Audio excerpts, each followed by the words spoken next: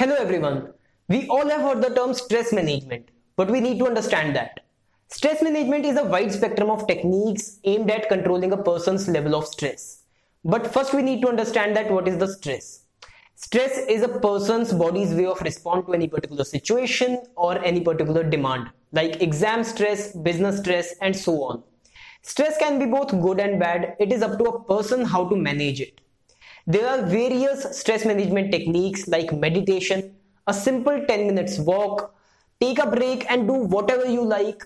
According to experts, these small activities can help a person to get rid of his or her stress.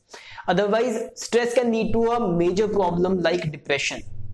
So we should make these activities as a part of our day-to-day routine as it can help us both mentally and physically. Now let me tell you some tips that you should try while you are stressed. First, you need to understand the source of your stress. It can be your exams, your family, your friends, business and so on.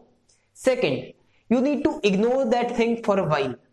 Third, do whatever makes you feel happy. It can be songs, singing, dancing or doing yoga or watching TV and so on.